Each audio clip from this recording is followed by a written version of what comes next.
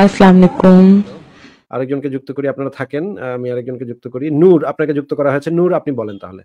হ্যাঁ thank you Asif ভাই যুক্ত করার জন্য। তো আপনার সবাই তো ভালো আছেন নাকি? হ্যাঁ হ্যাঁ আমরা ভালো আছি বলেন। আচ্ছা আমি হচ্ছে একটা ছোট কথা বলার জন্যই যুক্ত হলাম বাট এর আগে আমি একবার যুক্ত হয়েছিলাম তখন যেটা আমি বলছিলাম যে আমি একজন রাইটার এবং আহ, মানে গল্প লেখা নিয়ে আর কি কথা বলছিলাম আপনাদের সাথে সবার সাথে তো আপনি অবশ্য আমাকে অ্যাপ্রিসিয়েটও করছিলেন।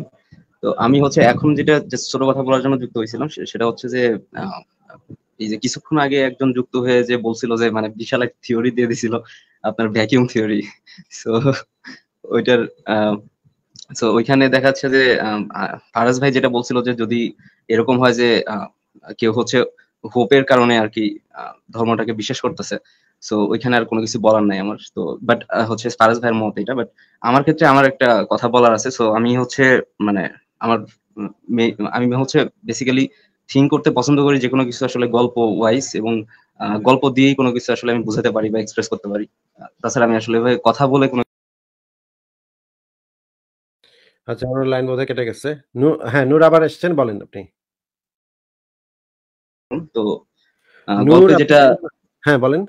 হ্যাঁ সো আমি শুনতে পাচ্ছি হ্যাঁ সো সো আমি যেটা হচ্ছে গল্পটা যেটা বলতে চাচ্ছিলাম সেটা হচ্ছে যে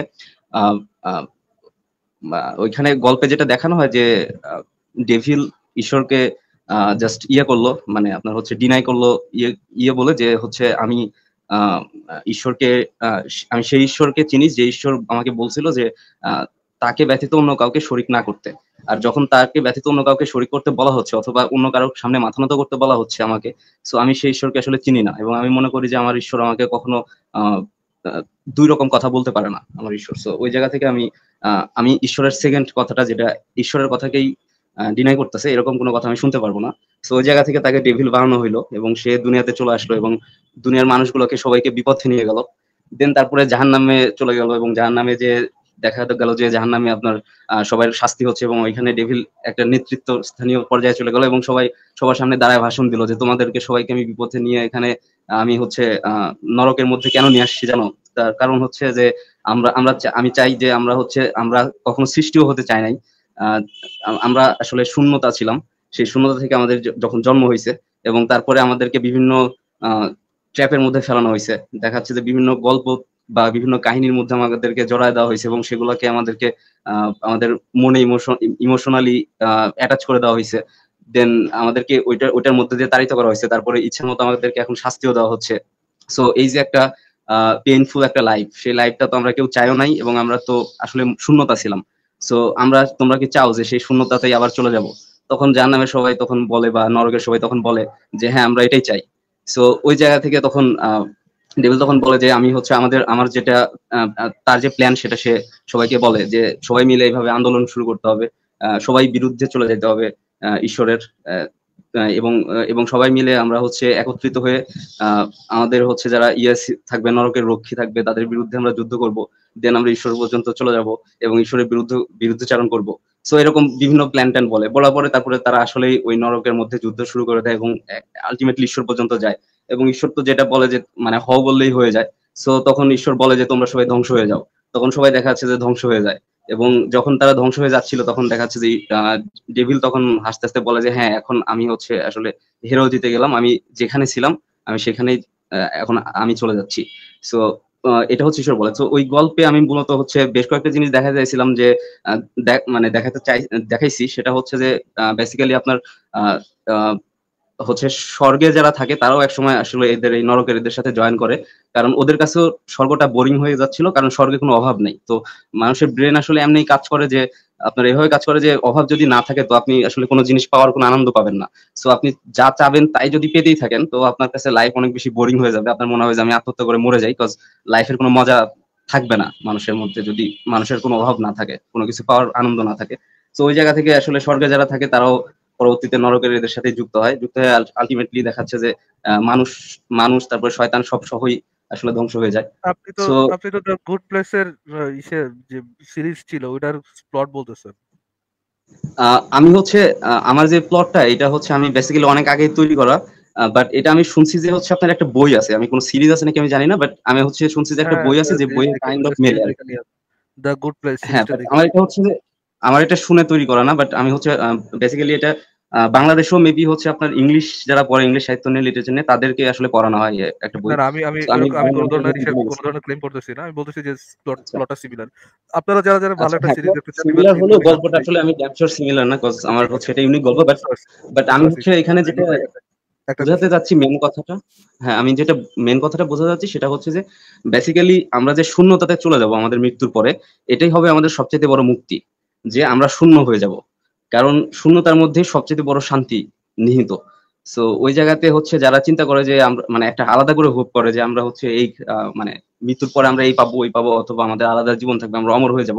সো এই অমরত্বের মধ্যে আসলে কোনো শান্তি আসলে নাই। শান্তিটা আসলে আসি হচ্ছে শূন্যতার মধ্যে। যখন আমরা সবকিছু শূন্যতার মধ্যে যে শান্তি আছে না অশান্তি আছে? হ্যাঁ। এটা আপনি কীভাবে বুঝবেন যে শান্তি আছে? এটা এটা হচ্ছে এই কারণেই যে আপনার মানে লাইফের যত জিনিসপত্র মানে যত হচ্ছে আপনার ইয়েগুলা কি বলে না আমি জিজ্ঞেস করেছি। ভাই জিজ্ঞেস করেছি। আমার প্রশ্নটা শুনে তারপরে একটু হ্যাঁ। আনসার করেন। শূন্যতার ভিতরে শান্তি যে আছে এটা বুঝবেন কীভাবে? এটা আমি হচ্ছে এটাই অ্যান্সার করতেছি যে যদি আপনি শূন্যতার মধ্যে না থাকেন তাহলে যেটা হবে যে আপনার বেশ কিছু স্ট্রাগল। অশূন্যতার মধ্যে থাকলে কি হবে সেটা জিজ্ঞেস করি নাই। অশূন্যতার ভিতরে থাকলে কি হবে সেটা আমার প্রশ্ন না। শূন্যতার ভিতরে যে শান্তি আছে এটা আপনি শূন্য অবস্থাতে আপনি কীভাবে বুঝবেন? এটা বোঝার আসলে উপায় নাই ভাই আপনি ভালো পয়েন্ট ধরছেন। তাহলে আপনি কীভাবে বলছেন যে শূন্যতাতে শান্তি মিলবে? সেটা কি কোন এভিডেন্সের সাপেক্ষে আপনি এই দাবিটা করছেন ভাই? আমার ক্ষেত্রে এখানে হচ্ছে আপনার এভিডেন্স আমি আসলে এভাবে দেখাতে পারব না বাট এটা হচ্ছে আমার মনের আবেগ আবেগ বলতেছেন নাকি মনের এটা আবেগ। আবেগ আবেগও আসলে না কাইন্ড অফ হচ্ছে আপনার কি বলে যে একটা সমাপ্তি আপনি যদি কোনো কিছু আপনি করেন তো ওইটার যদি সমাপ্তি না থাকে সো ওই জিনিসটা আপনার আপনার তো হচ্ছে মানে করার মিনিং নাই সো ওই জায়গা থেকে আমি বলতেছি যে যদি আমাদের লাইফের সমাপ্তিটা যদি এমন ভাবেই ঘটে যে আমরা টোটালি শূন্য হয়ে যাচ্ছি সো ওইখানেই তো আসলে মানে ওইটাই তো আসলে একটা সমাপ্তির একটা ইয়া আর কি আহ, ওই আচ্ছা। জায়গা থেকে বুঝতে পেরেছি আপনার গল্পটা বুঝতে পেরেছি আপনাকে অনেক ধন্যবাদ। আমরা আরও আপনার সাথে আলোচনা করব আপনার মেইল আমি পেয়েছি। পরে এটা নিয়ে একসময় কথা হবে। আমরা আমি যখন একটু সময় পাবো তখন এটা নিয়ে একসময় আলাপ করব।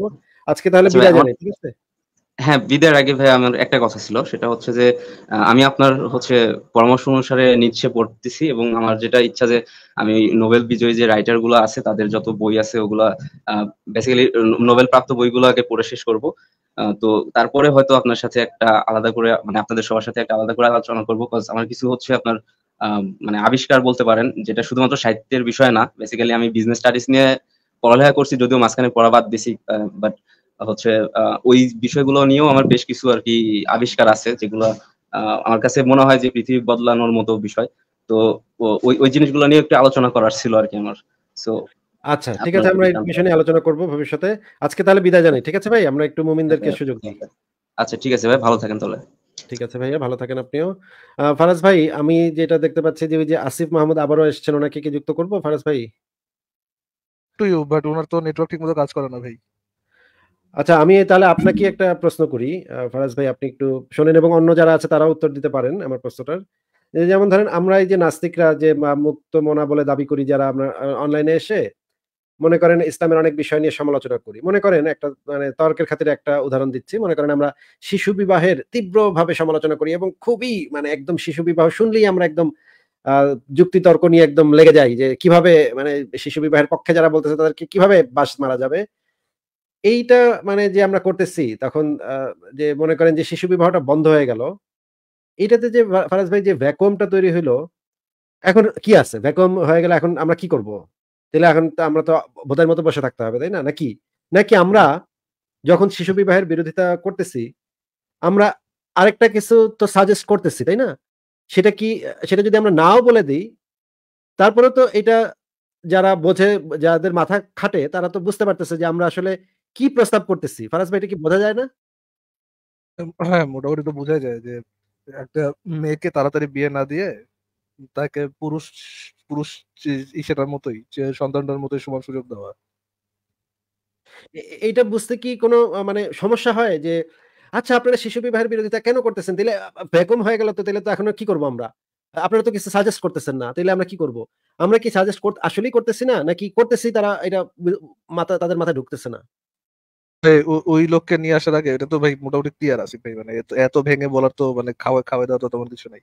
আর শেনওয়ার নামে কি সেভাবে ভাই একটু বলে নি বলে নি।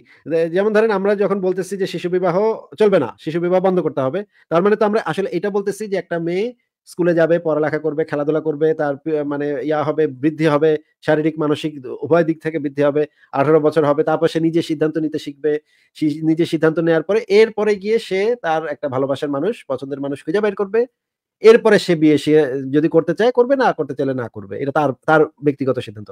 আমরা তো এটাই সাজেস্ট করতেছি ফারাজ ভাই। এইটা বোঝাটা কি? মানে এত দুষ্কর আমি আমার মনে হয় মুমিনরা এই জিনিসটা বোঝে না যে আমরা আসলে কি প্রস্তাব করতেছি এই জিনিসটা তারা বোঝে না। এটা বোঝাটা তো জলপরি আপনার হ্যাঁ, হয়ে ভালো আপনি- আছেন? হ্যাঁ আপু ভালো আছে আপনি একটু বের হয়ে আবার যুক্ত হন। আপনি একটু কি কো- না আপনার এখান থেকে আপনাকে মিউট করে রাখছি। আপনার এখান থেকে খুবই ইকো হচ্ছে আপনি একটু বের হয়ে আবারও যুক্ত হন। আহ, আপনাকে আবারও যুক্ত করছি আমি একটু আহ, আপনাকে ইয়া করে দিচ্ছি আপনি আবারও যুক্ত হন। ফারাজ ভাই আমরা যখন একটা জিনিসের সমালোচনা করি তখন তো এটার ভিতরে তো আমরা একটা আহ, আল- অন্য একটা কথা তো বলে দিই সেটা যদি যদি আমরা সবসময় নাও বলি তারপরে তো সেই জিনিসটা বোঝা যায় তাই না? মানে আপনি বলতে চাইছেন- যে শিশু বিবাহ বন্ধ হয়ে গেলে ছেলেদের আর বিয়েই হবে না নাকি? বুঝতে পারছে না এখনও। বিরাট ব্যাকুম হয়ে গেল এখন কি করবে ছেলেরা? বিয়ে টিয়ে করতে পারছে না এখন কি করবে ছেলেরা? আচ্ছা ভাইকে আমি একটু যুক্ত করে দেখি। ভাই কি বলেন? আপনি বলেন তাহলে। আসিফ ভাই শুভ সন্ধ্যা। হ্যাঁ শুভ সন্ধ্যা ভাই বলেন। ও আপনাকে একটা বিষয় জানানোর জন্য যুক্ত হলাম। যে আপনার যে ছোটদের জন্য মানবতা মানববাদ দুঃখিত। এই বইটা এখন কিন্তু বাংলাদেশে পাওয়া যাচ্ছে। আমি কয়েকদিন আগে এটা বাতিঘর নামে যে বইয়ের যে দোকান আছে ওখান থেকে আমি অনলাইনে সংগ্রহ করেছি। এবং এটা অনলাইনে যে কেউ বাতিঘরের যে ওয়েবসাইট আছে ওখানে গিয়ে অর্ডার করলে পাচ্ছে। আচ্ছা আচ্ছা অনেক ধন্যবাদ। ভাই আমিও জানতাম না এটা জেনে ভালো লাগল যে বইটা পাওয়া যাচ্ছে এখন আবার। এবং আমি ওইটা সংগ্রহ করেছি মূলত আমার ছেলের জন্য। আমার একটা দশ বছর বয়সী ছেলে আছে। তো আমি এটা দুদিন হলো সংগ্রহ করেছি। ইতিমধ্যে ওকে নিয়ে আমি টুকটাক, ওকে, আমি এবং ওর মা দুজনে মিলে আমরা টুকটাক টুকটাক করে ওদের সাথে রেখে পড়াই। তো আপনি যে উৎসর্গপত্র লিখছেন শুরুতে দুর্দান্ত হয়েছে। তো অভিভূত উৎসর্গপত্রটা পড়ে।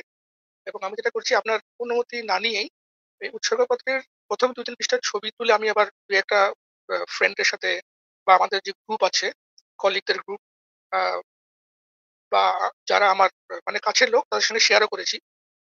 তারা খুব কিউরিয়াসিটি নিয়ে জিজ্ঞেস করেছে যে, বইটা কার লেখা? আমি ওই নাদা প্যারাটোভিচের নাম বলেছি। আপনার নামটা বলিনি অবশ্য, কারণ আপনার নামটা বললে তো ধরেন ওখানে তারা একটা ট্যাগ লাগাই দিবে আর কি। ব্যাপারটা আর পড়তেই যাবে না। নাদা প্যারাটোভিচকে হয়তো চিনে না, তখন তারা খুব আগ্রহী ছিল ঠিক আছে, বইটা একটু দিস পড়ব তো এই হলো অবস্থা আর কি। খুব ভালো লাগছে বইটা পড়ে। হ্যাঁ। আচ্ছা ওই বইটার ভিতরে দুই এক, কিছু বানান ভুল আছে এবং কিছু প্রথম সংস্করণ ছিল তো এক, দুইটা তথ্য ভুল আছে। আর বেশ কয়েকটা বানান ভুল আছে। যে দ্বিতীয় সংস্করণ যেটা আছে, সেটা হচ্ছে আবার গুগল প্লে স্টোরে পাওয়া যায়। গুগল প্লে স্টোরে আপনি যদি ডাউন মানে ওইটা আবার পয়সা দিয়ে কিনতে হবে গুগল প্লে স্টোর থেকেও। ওইখানে আবার সব বানানগুলো ঠিক করে দেওয়া আছে এবং যে তথ্য দুইটা ভুল আছে, সেই তথ্য দুইটা ঠিক করা হয়েছে। ছোট দুইটা তথ্য ভুল ছিল সেই তথ্যগুলো আমি, আমার ইসের কারণেই ভুল হয়ে গেছে। বিবর্তন তত্ত্ব, যে চ্যাপ্টার সেই চ্যাপ্টারে একটা ভুল এবং মহাবিশ্বের যে মানে সম্প্রসারণ, সেখানে একটা তথ্য ভুল ছিল। এই দুইটা তথ্য আমি আবার ঠিক করেছি পরে। আপনি যদি মানে একদম প্রপার শিক্ষাটা দিতে চান আপনার বাচ্চাকে তাহলে আপনি গুগল প্লে স্টোর থেকে আপনি আপনার ইমেল অ্যাড্রেসটা আমাকে পাঠাতে পারেন তাহলে আমি আপনাকে এক্সেসও ফ্রি এক্সেসও দিয়ে দিতে পারি বইটার। তাহলে আপনি ওই বইটাতে একদম যেই যা আছে সব একদম কারেক্টলি দেয়া আছে। সেখানে আর কোনো ভুল আমি পাই নাই খুঁজে। আপনি যদি কারেক্ট ভার্সনটা চান তাহলে সেটাও সংগ্রহ করতে পারেন আমাকে মেইল করতে পারেন আপনার ইমেল অ্যাড্রেস দিলে আমি আপনাকে ফ্রি অ্যাক্সেস দিয়ে দিব। যেহেতু আপনি বইটা কিনেছেনই যেহেতু আর ওই- ওইটা দেওয়ার দিতে আমার আর কোনো সমস্যা নাই। আপনি চাইলে এই বইটা আমাকে মেইল অ্যাড্রেস পাঠিয়েন, ঠিক আছে ভাই? আচ্ছা। আরও দু একটা কথা একটু যোগ করতে চাই যে ওই আমি বাংলাদেশে থাকি এবং আমি একজন সরকারি কর্মকর্তা এবং আমি যেটা করি যে, আমি, আমার যে কলিগরা আছেন কলিগদের মধ্যে অনেকেই আছেন, যারা এই মুক্ত চিন্তার বা মুক্ত বুদ্ধির এবং আমাদের একটা মেসেঞ্জার গ্রুপও আছে, যেখানে আমরা আমাদের যে মুক্ত চিন্তা ভাবনার কথাগুলো আছে, এগুলো শেয়ার করি। মানে একটু মানে স্পেস আমরা পাই যে কথাগুলো আমরা ওপেন মানে বাস্তবে বলতে পারি না বা সোশ্যাল মিডিয়ায় শেয়ার করতে পারি না, সেগুলো আমরা আমাদের গ্রুপের মধ্যে শেয়ার করি। বিভিন্ন অসঙ্গতি বা কুসংস্কার বা ধর্মীয় জড়বুদ্ধি যে বিষয়গুলো আছে, সেগুলো আমরা ওখানে শেয়ার করে রাখি এবং অনেক কম না, প্রায় দেড়শো দুশোর মতো আমরা আছি। তারা সবাই আমরা সরকারি প্রথম শ্রেণি কর্মকর্তা এবং সবাই মুক্ত উচিত এবং মুক্ত বুদ্ধির বিষয় নিয়ে।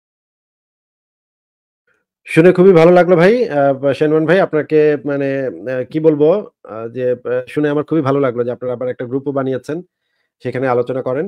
আলোচনা করতে থাকেন এবং আমাদের যে বিষয়গুলো আছে, লেখালেখিগুলা বা ভিডিওগুলা, সেগুলো যদি আপনারা, সেগুলো নিয়েও যদি আপনারা আলোচনা করেন, তাহলে তো আলোচনা যদি শুধুমাত্র আমার আপনাদের মধ্যে সীমাবদ্ধ না থেকে আরও যদি আশপাশের মানুষদেরকেও সাথে যদি এগুলো নিয়ে আলোচনা করেন, যত কথা বলা হবে, যত আলোচনা করা হবে, তত আমাদের মানে ইয়াগুলা বৃদ্ধি পাবে। এটার জন্য আপনাকে অনেক ধন্যবাদ শেনন ভাই। আর কি কিছু বলবেন ভাই? আপনার লাইভ প্রতিটাই শুনি, একদম প্রত্যেকটাই শুনি। কিন্তু যুক্ত হই না, কারণ আসলে মানে যুক্ত হয়ে কি বলব বা কোনো ইনপুট সেভাবে দেওয়ার মতো থাকে না। এই জন্য প্রতিটাই শুনি। তিন, চার মাস পর পর হয়তো যুক্ত হই। তখন মনে হয় যে হ্যাঁ জমাই আর কি যে কিছু বলার মতো জমলে পরে যুক্ত হয়ে কথা আজকে এই কারণে যুক্ত হলাম। এটাই আর কি। আর আপনাদের, আমাদের, আপনাদের যে টেলিগ্রাম গ্রুপটা আছে, সেটাতে কীভাবে যুক্ত হতে পারি? এইটা যদি আচ্ছা আমাকে একটা মেল করে দিয়েন আপনি তাহলে মেল করেন। মেইল করেছি ভাই এর চারটা আপনি একটু রিপ্লাই করেননি আপনি ব্যস্ত মানুষ অবভিয়াসলি ভাই আসলে আমার তো সপ্তাহে পাঁচ দিন মানে নয়টা থেকে পাঁচটা কাজ করতে হয়। তারপরে যদি আমি এই কয়দিন হচ্ছে গিয়ে আমার বউ ডেনমার্ক গেছে আমি এই কয়দিন একটু সময় পাচ্ছি এবং এই জন্য ধুমায় লাইভ করতেছি এই- এই কয়দিন কিন্তু এমনিতে আমি খুবই কম সময় পাই ভাই এমনিতে আমার সময় একেবারে মানে কম। আমি এখন এটা তো আমার পক্ষে আসলে সম্ভব না। অফিস করে বাসায় বাসার কাজও করে আবার সবকিছু করে এগুলো সম্ভব হয় না ভাই। কি করব? এটা তো আমার কিছু বলার নেই। বুঝতে পারি বুঝতে পারি বুঝতে পারি। আমি তারপর মেইল করব। আমার মেইলের যে অ্যাড্রেসটা একটা অংশে থাকবে SUST S U S T আচ্ছা ঠিক আছে ভাইয়া ঠিক আছে। আজকে আমি সাস্টের স্টুডেন্ট মানে শাহজালাল বিশ্ববিদ্যালয় ছিলাম কি তো কাইন্ডলি আমি মেইলটা করব আপনি কাইন্ডলি রিপ্লাই করবেন। আচ্ছা ঠিক আছে ভাই। ভালো থাকেন তাহলে। ধন্যবাদ খুশি হলাম। শুভরাত্রি। আমার কাছে তো আসলে অনেক মেইলই আসে। আমি তো আসলে এগুলা দেখতে পাই না। কারণ হচ্ছে গিয়ে দেখি, মাঝে মাঝে পড়ি, কিন্তু উত্তর দিতে পারি না। কারণ এত তো আসলে সময় পাওয়া যায় না।